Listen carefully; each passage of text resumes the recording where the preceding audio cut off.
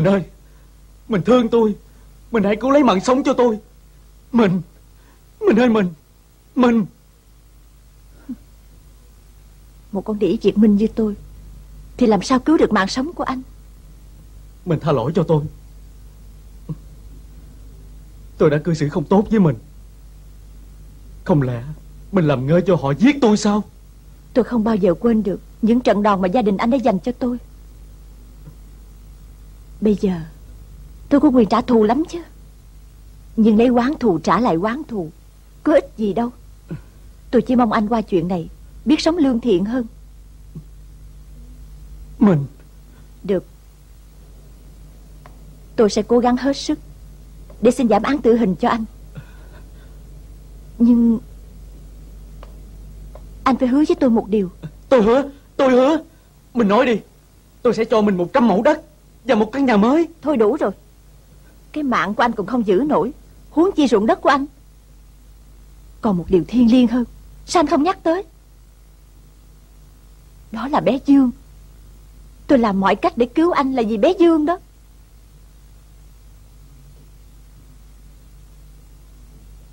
Hứa đi. Hãy hứa với tôi là anh nuôi con tử tế. Cho tôi đi kháng chiến. Anh hứa đi. Tôi hứa.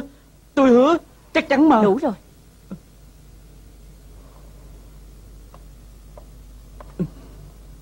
Mình ơi! Địa chủ Diệt Giang Phản bội tổ quốc Bóc lột tá điền. Đáng tội chết. Không. Thưa đồng chí Chi Huy Nếu lệnh đã ký như vậy Tôi xin trả lại cho vệ quốc đoàn súng và giấy tờ công tác. Tôi không thể yên tâm theo kháng chiến khi con tôi không biết sống chết thế nào, Tôi phải đi tìm con tôi. Thưa đồng chí, Tôi là một chiến sĩ vệ quốc, Nhưng cũng là một người mẹ. Xin đồng chí hiểu cho.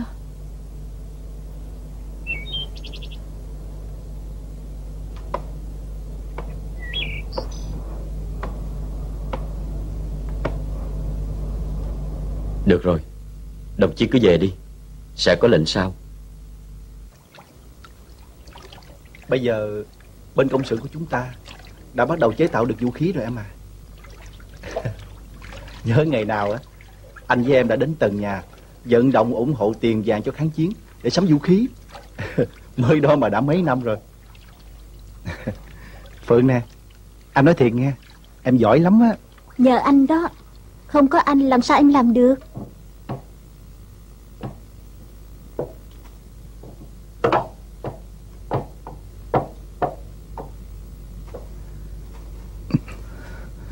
À Em đi rồi chừng nào trở lại? Chuyến này em nhận một công tác đặc biệt. Chắc lâu lắm mới được gặp lại anh. Anh không nói gì với em sao? Anh chúc em đạt được những gì em mơ ước. Nhưng có một mơ ước Em không bao giờ giới tới được. Em biết anh vẫn còn yêu chị Bạch Cúc. Trong trái tim anh chỉ có một bóng hình chị ấy Em không dám trách anh Em chỉ buồn cho em thôi.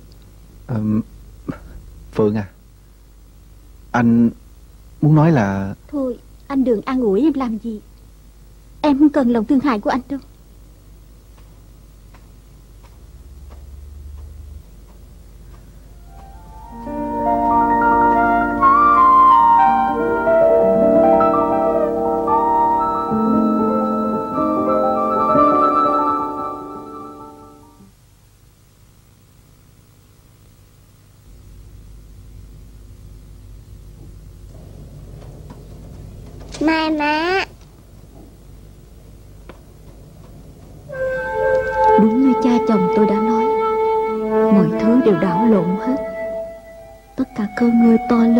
chồng tôi Đã bị máy bay Pháp ném bom tan tành. Cha chồng tôi bị xuất huyết não chết trên đường buôn lúa gạo. Chồng tôi và em gái tôi đi theo kháng chiến Biền biệt không về. Mai má, Tối rồi như nhà ai má ừ.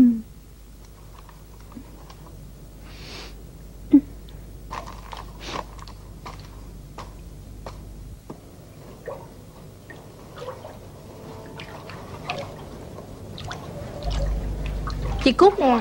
Phải chi được như chị thì sướng biết mấy. Em thích làm lính Việt quốc hơn. Mỗi người một việc em à.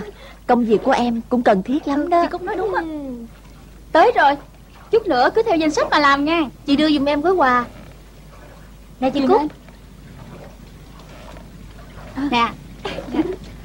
Sắp Xong xuôi rồi chị em mình tập trung về địa điểm cũ Cùng về một lượt nha. Dạ, Được được rồi Rồi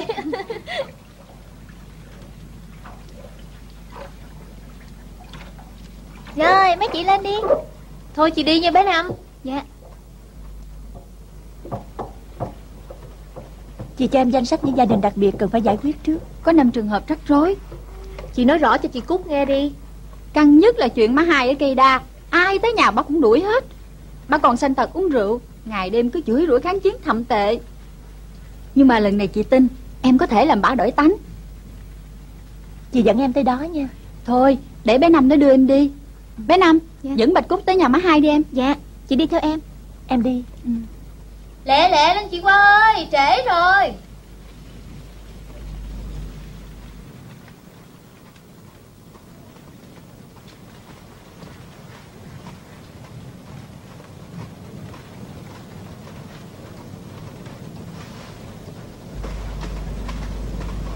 Đó Cái nhà đó kìa.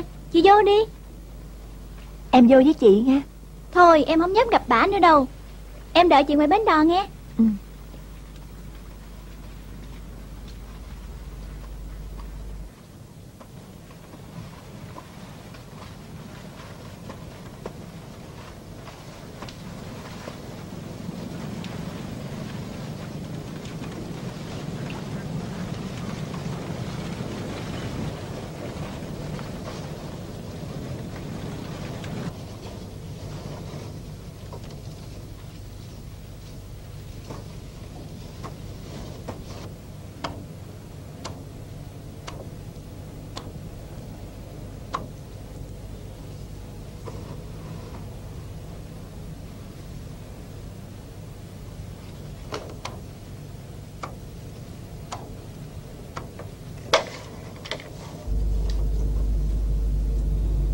Thưa má hai, Má có khỏe không? Chúng con là những chiến sĩ vệ quốc về thăm má. Chúng con sẽ làm mọi cách giúp đỡ má Trong hoàn cảnh cô đơn này. Có gì bực tức, Má cứ chửi mắng. Đừng chịu khổ một mình má Má.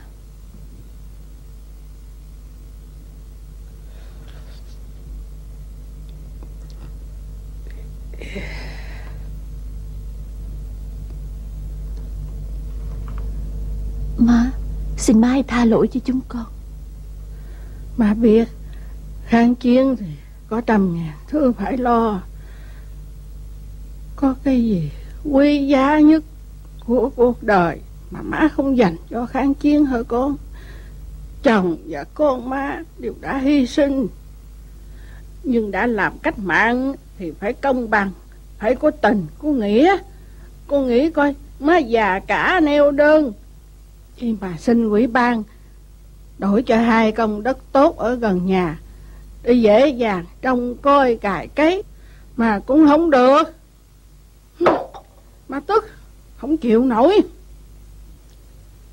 Chừng cẳng má bây giờ, yếu lắm.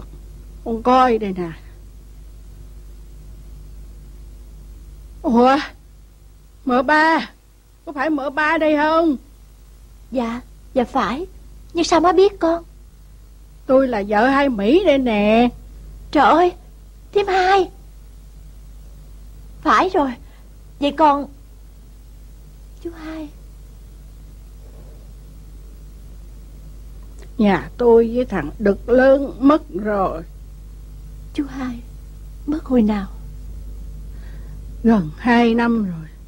Mà ba tôi chỉ sống có một mình sau khi giúp mà thoát đi ổng trốn về thăm tôi rồi dẫn thằng đực lớn vô chiến khu.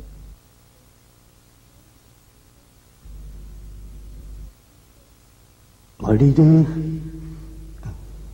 Lẹ lên. Ừ, Đi Đi. Chồng con đã chết hết tôi sống thui thủi có một mình. Con không bao giờ quên ơn chú hai đã cứu thoát con Chú là người đã sinh ra con một lần nữa. Bây giờ ai cho cái gì đỡ cái nấy. Mợ ba ơi. Thiếm đừng kêu con bằng tiếng mợ xa xôi ấy nữa. Bây giờ Thiếm là người mẹ thứ hai của con. Không có chú hai. Đời con biết sẽ ra sao. Xin má hãy cho con làm mọi điều Để được tạ lỗi cùng má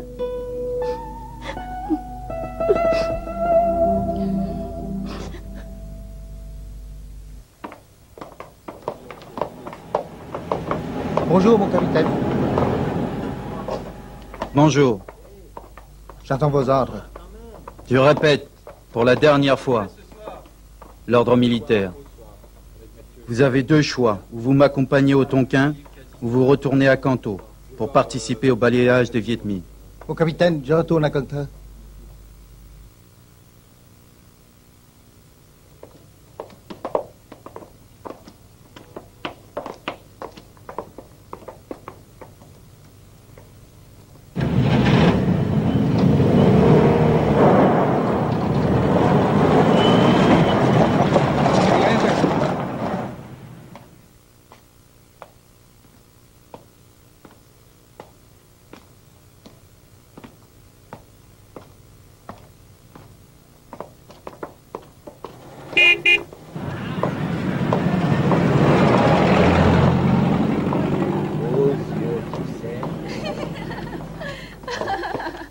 donc,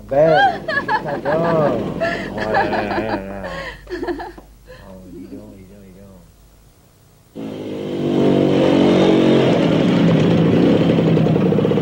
À, Hoàng Thái.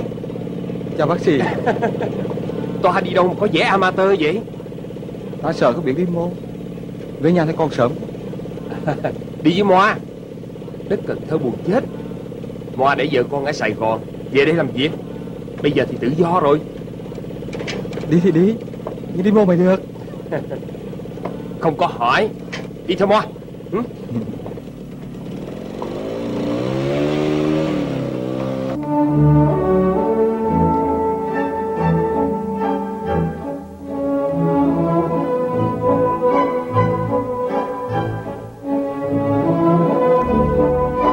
Nào Chúc mừng sức khỏe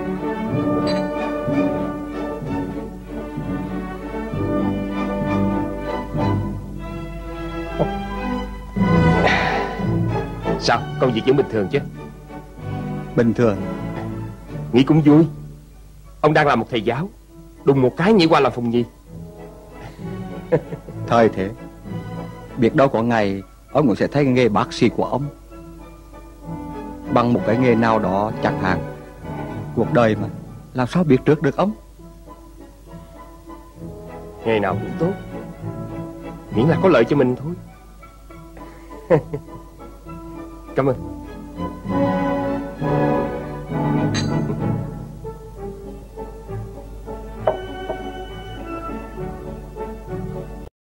Ra nhảy đi. Ngứa chân rồi. Ông nhảy đi. Thua một chút đã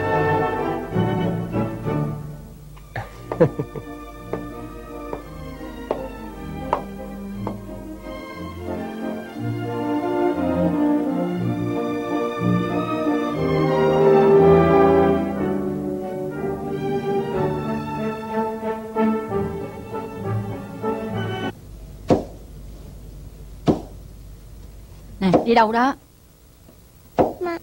Má ơi. Con vô chơi với nội Để má giả thêm cối gạo nữa nghe con. Nó giả gạo rồi con không chịu đâu. Má phải giả thiệt nhiều để ba với cô Phượng đem đi. Bộ con không sợ ba với cô Phượng đói hả? Bé Ly à Vô chơi với nội đi con Với má con làm việc. Dạ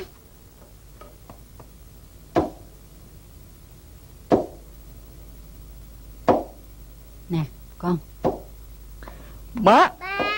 Ba về. Ta nói ở nhà nó cứ nhắc bày hoài à.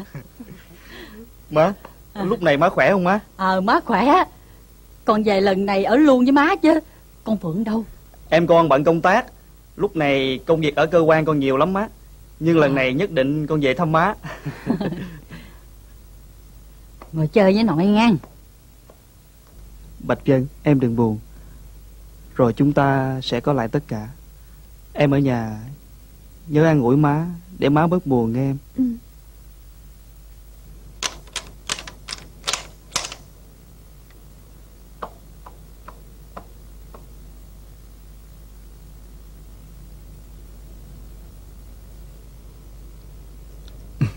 Anh Nam. Cưng súng quá ha. À Quang. Anh Nam. Khỏe không anh? Trời ơi chọn lâu quá chừng Có thêm súng đạn gì cho chúng tôi không? Đổi súng đối đạn quá rồi bạn ơi. Thưa đồng chí quyền đội trưởng Lần này chắc đồng chí không chê mấy khẩu súng mút của tôi chứ. Súng mút thì khỏi chê rồi.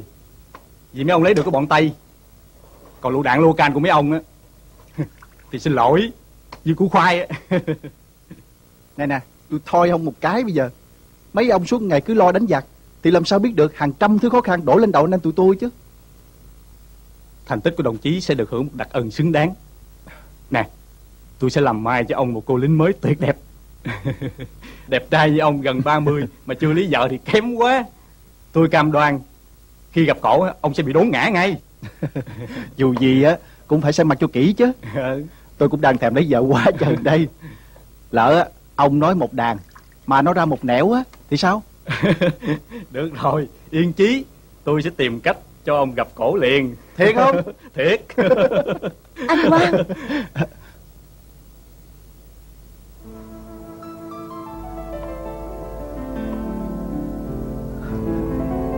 Bạch Cúc.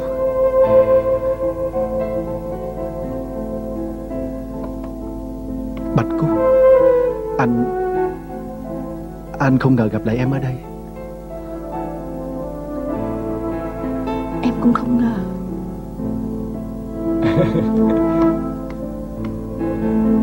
Hai người quen nhau hả? À, Còn hơn vậy nữa. Chúng tôi đã yêu nhau Từ hơn 5 năm trước. Nhưng vì hoàn cảnh phải xa nhau. Vậy hả? Vậy thì tôi phải đi công tác một chút.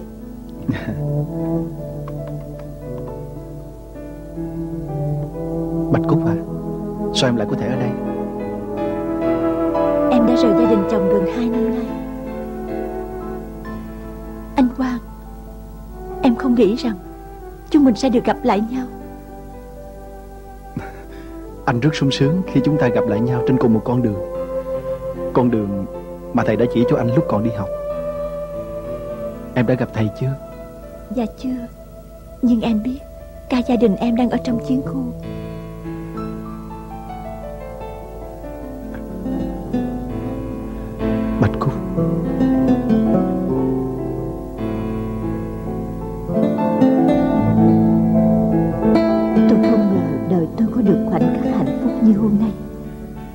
Tôi đang sống lại một cuộc đời khác Cuộc đời mà đáng lẽ ra chúng tôi đã được sống từ hơn 5 năm trước Bây giờ không còn gì ngăn cách nữa Với tình yêu Chúng tôi như bông hoa thắm nở trong không khí hào hùng của dân tộc En fin d'année, deux incidents nous obligent à y réfléchir. Le capitaine Rouen a été gravement blessé à l'assaut du Viet Minh à son poste. L'étrange détail est que le capitaine Rouen a empêché nos soldats, quand ils tirèrent sur le groupe de Viet Minh, de se retirer. Secondo, le commandant des serres dirigeant l'armée de terre à Canteur a subi une embuscade sur la route de Ragoy. Nous devons mener rapidement l'investigation sur ce cas. Mon capitaine, la patrouille attaquant la Jeep dans l'embuscade était munie de deux FM et quelques fusils mousquetons. Les FM Ce sont des soldats japonais en fuite pour se rendre au Viet Minh. Comment le savez-vous? Où il est décelé les FM, là sont présents les soldats japonais. Je conclus ainsi parce que les Viet Minh ne savent pas manier de la mitraillette. Vous établissez le dossier mettant la famille Famnoctan en observation. C'est celui qui a signé ce papillon de propagande. Geoffrey de Montmougneux, mon capitaine.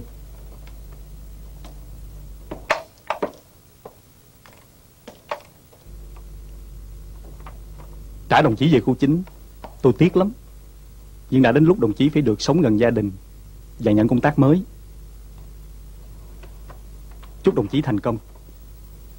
Hay là Thưa đồng chí Tôi xin phép được về Cần Thơ thăm nhà Rồi trở lại đây chiến đấu. Không thể được. Đồng chí khu trưởng đang cần gặp đồng chí Để giao một công tác đặc biệt.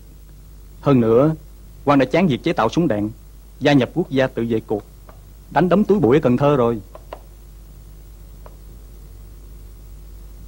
Chào đồng chí. Mong mọi điều sẽ tốt đẹp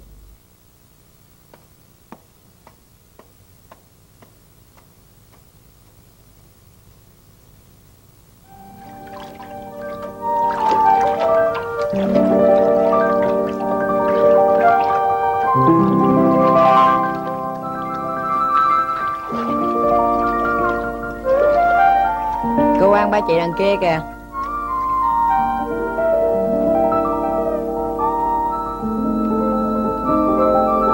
Cảm ơn em nha. Dạ.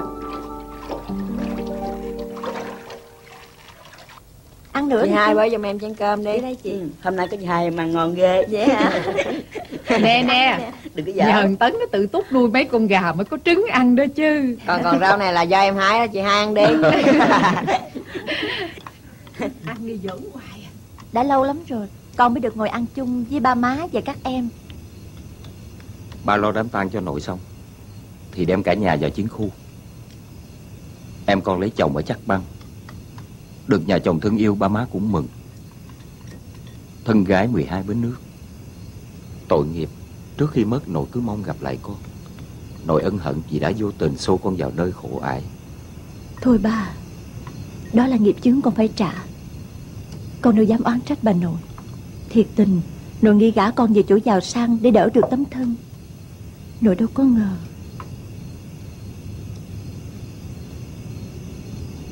Dù sao Bây giờ con cũng đã được quyền chọn lựa hạnh phúc của mình.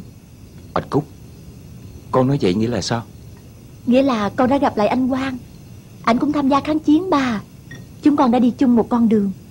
Lần này sẵn dịp về đây Con xin phép ba má Con nghĩ là ba má cũng tán thành việc chúng con lấy nhau. Vì ngày xưa ba má cũng bằng lòng. Khu bộ điều con về có việc quan trọng. Con nghỉ ngơi cho khỏe Để đi họp với ba. Lúc nào ba? Ngày mai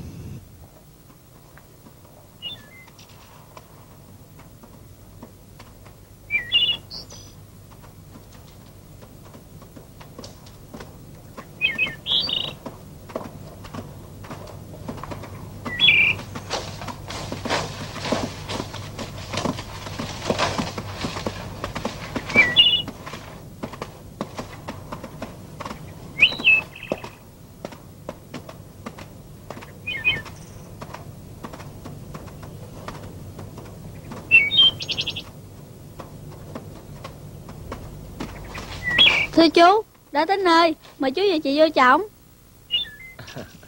Cảm ơn đồng chí liên lạc nha Dạ.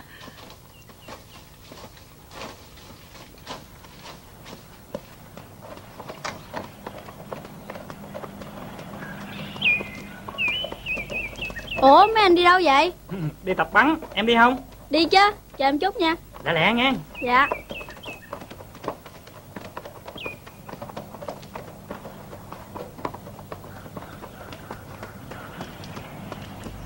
Ê Dũng Mới đi công tác về hả?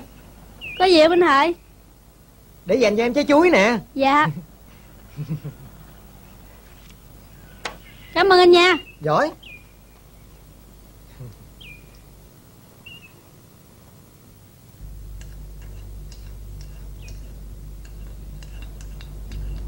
Cháu có khỏe không? Dạ thưa bác cháu khỏe. Ừ. Cháu uống nước đi. uống nước. Dạ. Cảm ơn đồng chí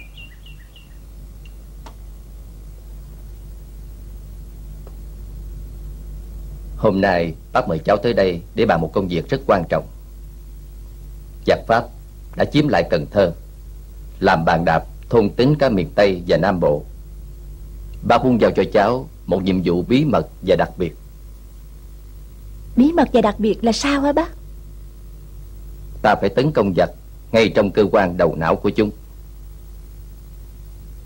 Bác sẽ bố trí cháu trở về thành làm công tác địch dần. Nói đúng hơn là làm tình báo.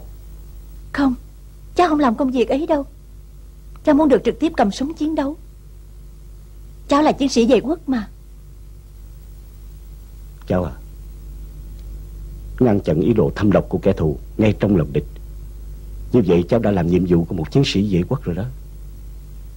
Cháu xin các bác Cho cháu ở lại đây làm công tác gì cũng được. Cháu sẽ chiến đấu, dạy học, cày cấy sản xuất. Không Bạch Cúc à Những công việc vừa nói, Các chị em khác làm được. Còn công tác này, Chỉ có mình cháu mới làm được.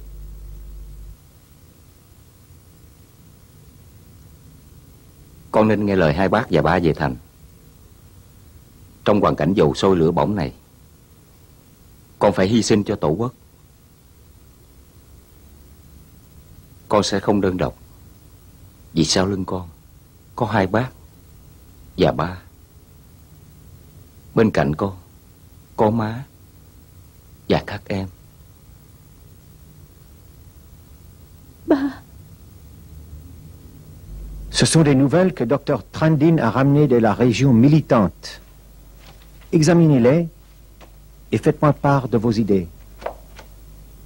Vous voulez dire la précision ou l'importance euh, de ces nouvelles? Tous les deux. Comme vous le savez, le préliminaire et provisoire traité consiste en couteau à deux tranchantes, pour nous ainsi que l'ennemi. Nous profitons de ce temps pour consolider les postes, établir systématiquement la machine militaire. Vice-versa, les Viet Minh profiteront de la légale situation pour insérer leurs majeurs cadres dans la ville. Par conséquent, nous devons, sur cette occasion, organiser l'insertion de nos hommes dans la région militante. Dr Trandin est en train de gagner la confiance du Viet Minh. Déjà, des agents de communication sont attrapés par nous en route. Je veux que vous compariez les nouvelles venant du Dr Trandin avec leur efficacité.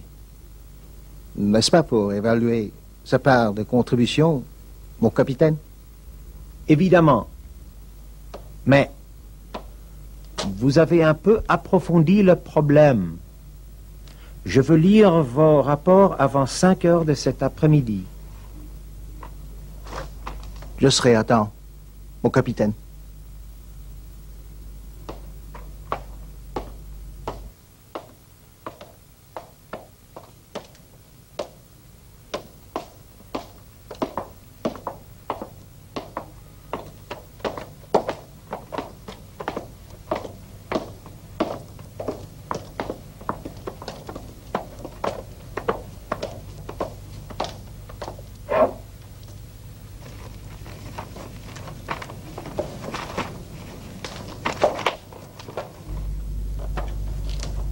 Thưa thiếu quý. Anh Mai tôi cái quy chi đây.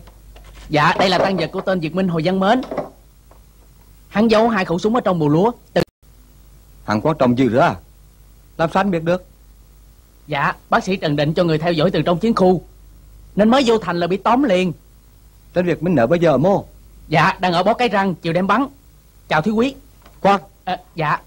Anh cho người giữ lại đó. Đợi lên con ba nô rê. Nhớ rõ chưa? Dạ chào thiếu quý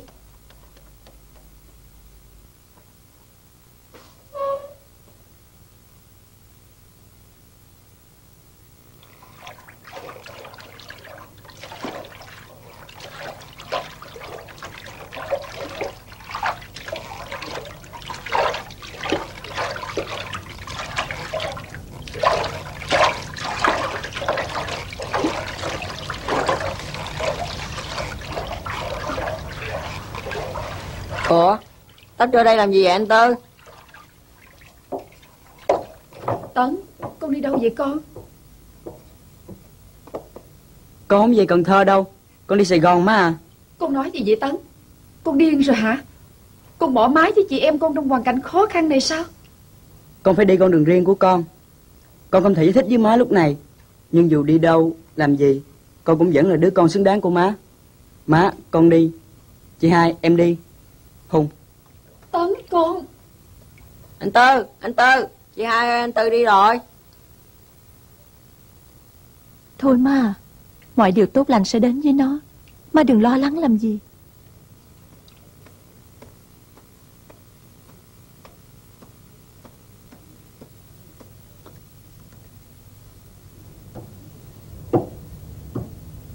Từ đây về Cần Thơ rất gần. Chắc con về nhà trước bằng đường bộ để thăm dò má Ờ. Con tính sao thì tính.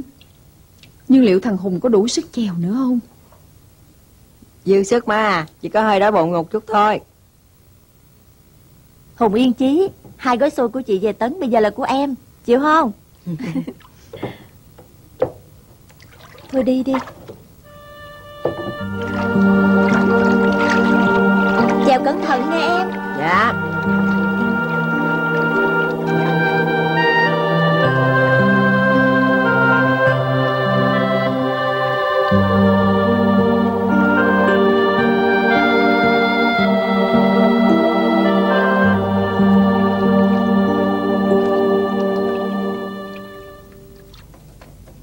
deuxième bureau s'évalue hautement les nouvelles que vous ramenez de la région militante. Par conséquent, le major en commandant Saranay s'est décidé de vous proposer à la chaise du Premier ministre. Nous avons envoyé le rapport à la haute comité française. Vous n'avez qu'à attendre. À votre plan d'action suite après la réception, c'est très bien. J'espère que vous pourriez les réaliser. Je déploierai mon mieux pour servir le gouvernement de la Cochinchine autonome. Mon capitaine. Nous sommes toujours derrière vous à votre support. Bon, ça suffit. Permettez-moi, mon capitaine. Au revoir.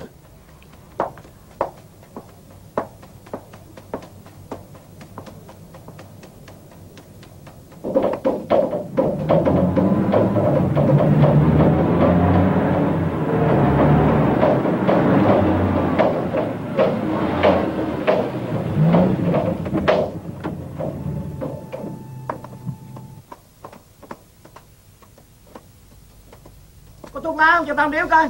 Ờ chờ tao lát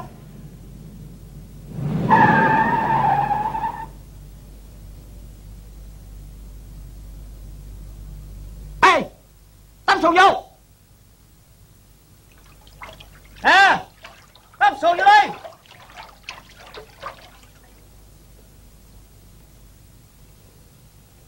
Nè thuốc nè Ừ Để tao xuống tao coi Xuồng vô Còn có này hả? Lên! Dạ. Chà Vợ con Việt Minh thứ dữ nè. Vô đồn lẹ lên! Dạ bẩm quan lớn. Mẹ con tôi theo báo cáo của chính phủ về thành làm ăn. Chúng tôi là những thường dân vô tội. Ai biết mấy người nhiều tội hay ít tội. Vô đồn rồi tính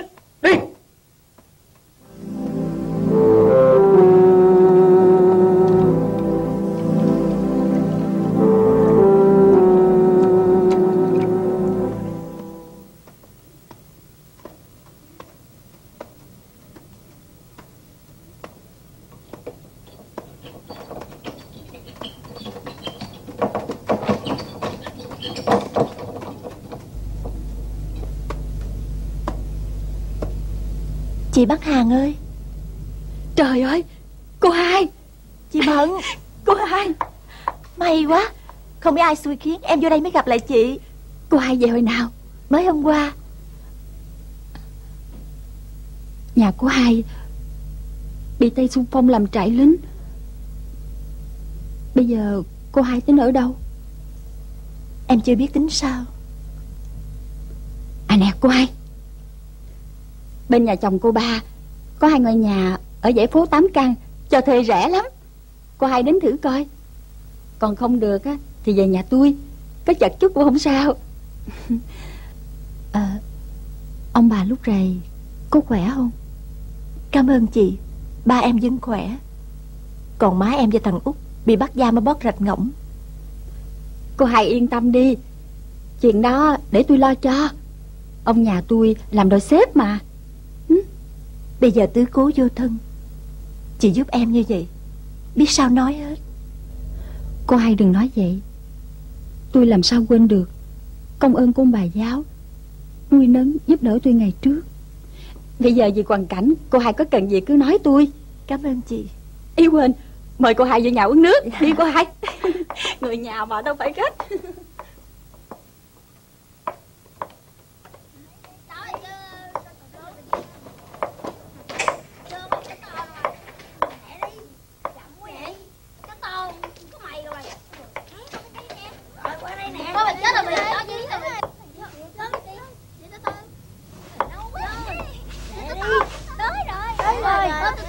chú. Đây có phải là nhà của dượng ba quý? Nếu tôi không lầm Thì đây là cô Hai Cúc Con cụ giáo thành. Dạ phải. Mà sao chú biết? Tôi đoán vậy Vì cô hai và cô ba Bạch Dân có nét đẹp phản phất giống nhau. Mỗi người mỗi vẻ Mười phân dạng mười. Dạ xin lỗi Còn chú là? Tôi là Tư Đờn Chú họ của cậu quý ở Chắc Băng. À, Mời cô hai vô nhà uống nước Dạ.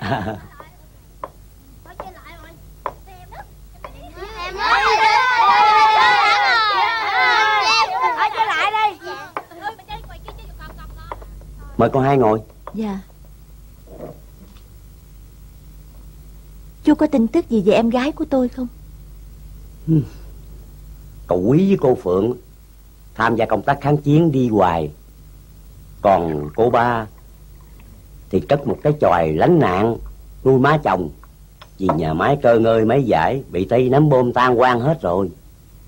Tội nghiệp tiểu thơ Khuê cát đất Cần Thơ. Bây giờ cũng phải cài cuốc Bươn chải cuộc sống như ai. À, Mời cô uống nước. Dạ.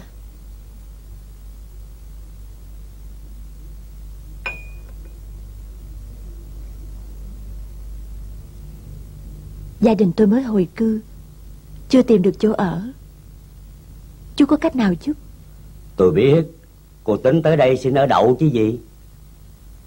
Chà, Trong hoàn cảnh này mà chứa chấp thân nhân của Việt Minh là rắc rối lắm á. Dãy phố này là của thằng Quý. Nhưng về lý mà nói Hiện nay tôi đang làm chủ. Tôi có quyền quyết định mọi chuyện. Khoan đã, cô hai. Nói vậy chứ Tôi đâu nỡ để bà giáo và các em cô Sống chất dưỡng ngoài đường. Tôi nhường căn bên cạnh cho cô. Đồ đạc trong nhà đủ hết. Cô chỉ việc dọn tới ở thôi. Nhưng có ai hỏi? Cô nói là Ở coi nhà phụ với tôi nha Dạ Cảm ơn chú nhiều lắm. Ừ. Bây giờ cháu phải đi đón má và em cháu về. Chào chú. Ừ.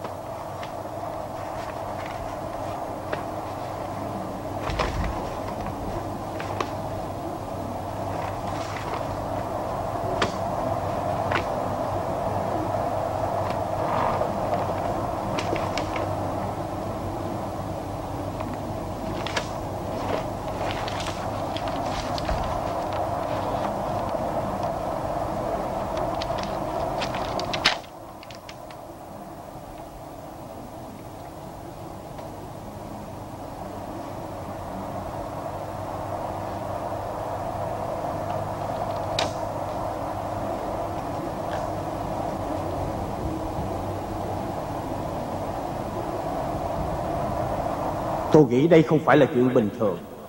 Cô ta trở về Cần Thơ với một cái tên quý phái Elise Bạch Cúc Anh biết chứ?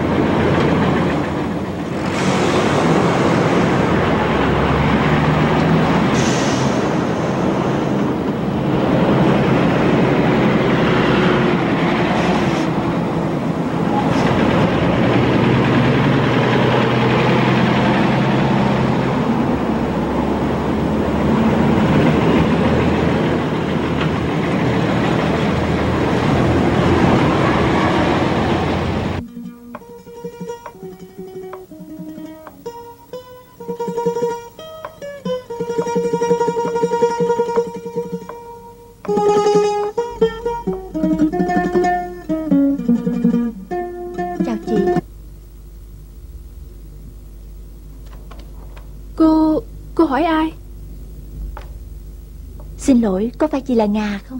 Phải tôi là Ngà Nhưng tại sao cô lại biết tên tôi? Có một người tên là Trung. Anh ấy đã từng học ở trường cô Lét Trung? Tại sao cô lại biết Trung? Bây giờ anh ấy ở đâu? Em rất tiếc là Không mang tin lành đến cho chị. Cô ơi có chuyện gì vậy? Đây là cái bóp Kỷ vật. Và lá thư ấy chưa kịp gửi cho chị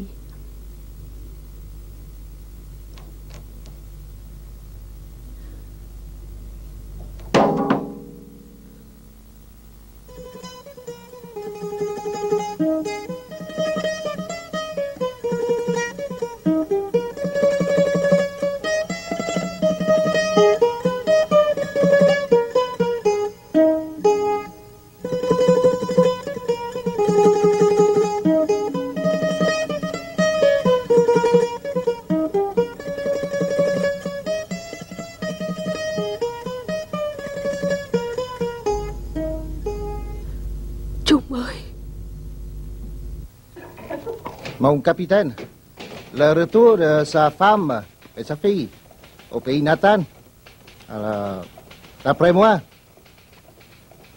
n'est pas un fait ordinaire. Qui sait? Ça peut être une normalité, parce que, d'après votre rapport, sa fille aînée s'est fait belle-fille, d'un propriétaire rangé parmi les premiers ou seconds riches à Bacieux, et s'est habituée à une vie prospère, tandis que la femme du professeur n'est qu'une faible femme. Le frère cadet reste très enfantin.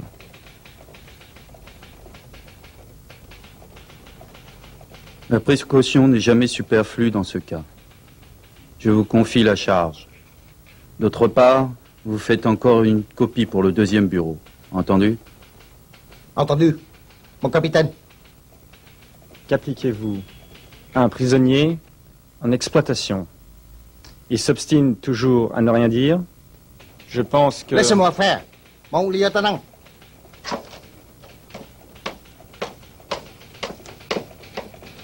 Il est bon, celui-là.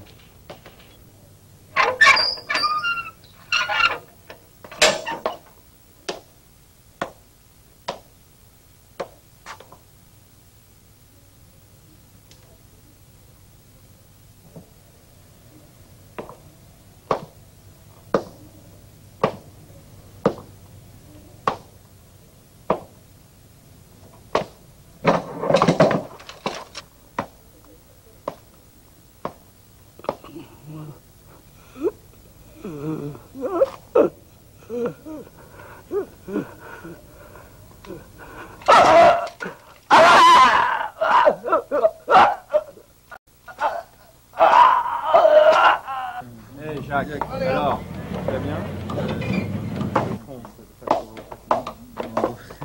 Comme d'habitude, comme d'habitude. Salut. Salut. Salut, ça va? Qu'y a-t-il de nouveau? Tu viens boire un petit coup. Hein?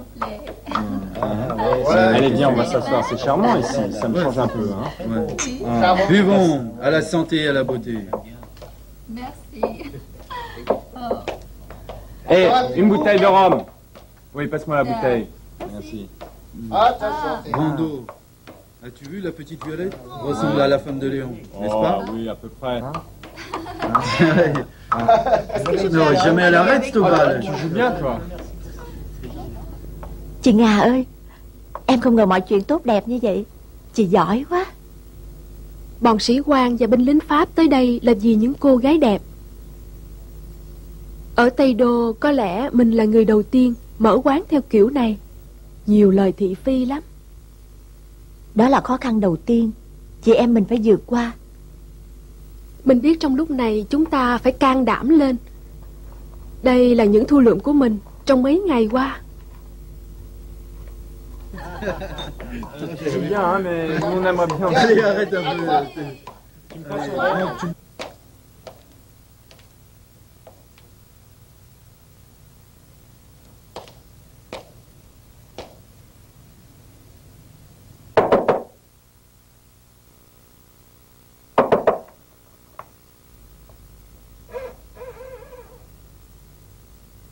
Xin lỗi Ông tìm ai? Tôi tìm cô đó.